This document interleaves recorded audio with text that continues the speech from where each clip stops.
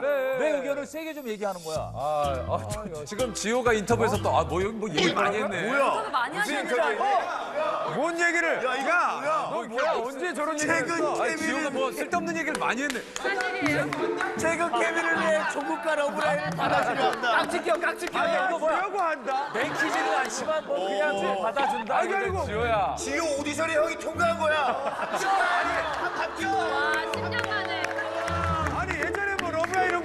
가만히 하더니 이건 뭐 대놓고 뭐 아예 받아주려고요? 뭐 아니, 아니, 지호야, 이것도 이제 뭐야. 받는다고 한 거죠. 받아주려. 저거는 말이 좀 와전된 거고. 아, 주변에서 엄청 좋아하시더라고요. 오, 재밌어, 재밌어. 그래서 해도 재밌을 것 같아요. 지금, 지금 되게 바라는 게 지금 지호하고 종국이하고 소민이하고 지금 세 찬이잖아요. 우리도야? 포함이야, 우리도? 아, 이 커플이야? 우리 지호 또 받아주겠다고 했잖아요. 야, 이거 러브라인 계속 형성되나요? 아, 이거 해줘. 아, 오늘부터 시작해야 되나.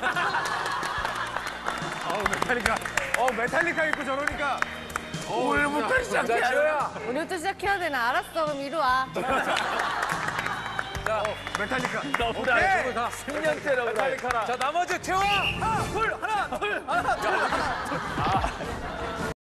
Friday.